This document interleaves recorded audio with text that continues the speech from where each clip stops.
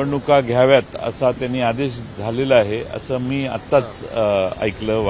एक तर राज्य सरकारला धक्का वगैरे काही बसलेला नाही. राज्य सरकारचा हा प्रयत्न होता की ओबीसी आरक्षणाशिवाय निवडणुका होऊ नये. आज सुप्रीम कोर्टाने जर निर्णय दिला असेल तर त्याचा अनुपा पालन करणं आपल्याला सगळ्यांना बंधनकारक आहे. सुप्रीम कोर्टाने जे सांगितलं असेल त्यांचा निका निवाडा जो झालेला आहे निकाल जो झाला आहे तो पूर्ण अजून हातात आलेला नाही. एक्झॅक्टली सुप्रीम कोर्टाने काय आदेश केलेला आहे ते तपासून त्याप्रमाणे राज्य सरकार पुढची पावलं टाकेल. ओबीसीचं आरक्षण मिळावं यासाठी तर हा राज्य सरकारने मध्ये कायद्यात काही बदल केले आणि काही सुधारणा करण्याचा प्रयत्न केला.